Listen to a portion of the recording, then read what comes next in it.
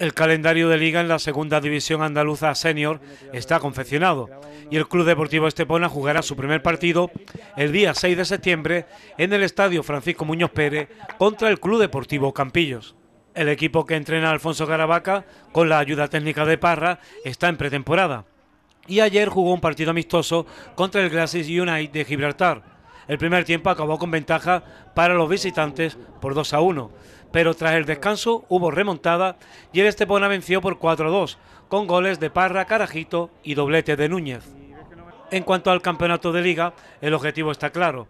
Primer puesto y ascenso a la primera andaluza, un reto que le gusta a Caravaca, sabiendo que representa una gran responsabilidad ante el club y ante la afición. Por cierto, que los abonos para la temporada están a la venta. En el grupo malagueño, con 18 equipos de esta segunda andaluza, figuran, entre otros, el Atlético Marbella, San Pedro B, Nerja, Alora, Archidona y Cártama. Recordemos que el día 6 será el primer partido en casa contra el Campillos y a continuación, el día 13 de septiembre, plato fuerte en la segunda jornada con el partido en el campo del Marbella. El día 20 el Estepona recibirá al Club Deportivo Trabuco.